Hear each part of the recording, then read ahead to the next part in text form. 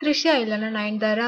எனக்கு இன்னொரு பேர் இருக்கு. படங்களை தொடர்ந்து மூன்றாவது முறையாக ஜிவி பிரகாஷ் ஆனந்த் இணைந்து நடிக்க உள்ளனர் த்ரிஷா இல்லைன்னா நயன்தாரா படத்திற்கு பின் இனிமேல் ஜிவி பிரகாஷுடன் சேர்ந்து நடிக்க மாட்டேன் என்று ஆனந்தி திட்டவட்டமாக தெரிவித்திருந்தார். அதனை அடுத்து ஜிவி பிரகாஷ் ஆனந்தியுடன் சமாதானம் பேச இரண்டாவது முறையாக எனக்கு இன்னொரு பேர் இருக்கு. படத்தில் இருவரும் சேர்ந்து நடித்தனர்.